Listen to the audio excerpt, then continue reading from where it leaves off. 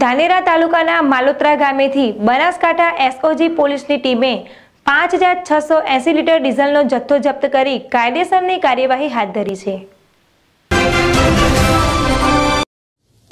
બનાસકાંઠા જિલ્લાની એસઓજી પોલીસની ખાનગી રાહે બાતમી મળતા એસઓજી પોલીસના અધિકારીઓ ધાનેરા તાલુકાના માલોત્રા ગામે રહેતા રમેશભાઈ પટેલ અને અમૃતભાઈ પટેલના ખેતરમાં દરોડા કર્યા હતા.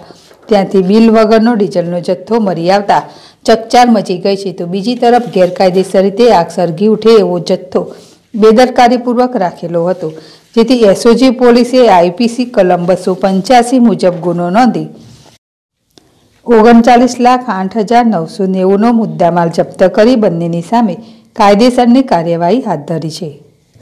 સુરેશ ગલચર જેડેશ ટીવી બનાસકાંઠા.